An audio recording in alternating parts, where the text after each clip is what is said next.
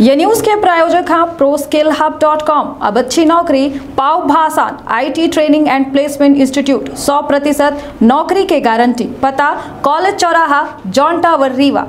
मध्य प्रदेश के मुख्यमंत्री शिवराज सिंह चौहान भले महिला सुरक्षा खातिर तमाम कोशिश कर रहे हैं, बुलडोजर तक की कार्रवाई प्रदेश में हो रही है। बावजूद एक अगर बात की जाए रीवा के द रीवा में जमीनी हकीकत जो उन्हें कुछ और देखे का मिलला है।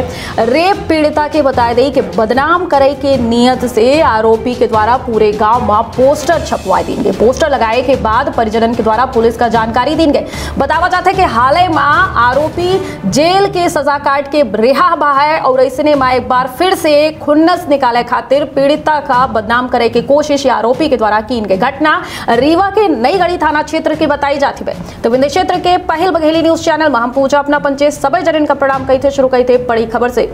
बता दें कि यह हैरान कर दे मामला बता दें कि हैरान कर दे वाला मामला रीवा जिला के नईगढ़ी थाना क्षेत्र के अंतर्गत आवा है, जहाँ दुष्कर्म पीड़िता के गाँव में पोस्टर लगाए देंगे या करतूत के वो नहीं, बल्कि रेप के आरोपी के द्वारा खुन्नस उतारे खातिर की गए। कई एक महीना तक जेल में बिताए के बाद आरोपी हाल में बाहर आबा है, जहाँ 22 जनवरी का गाँव के सार्वजनिक जगहन में बता दी कि पीड़िता के पोस्टर लगाए देंगे।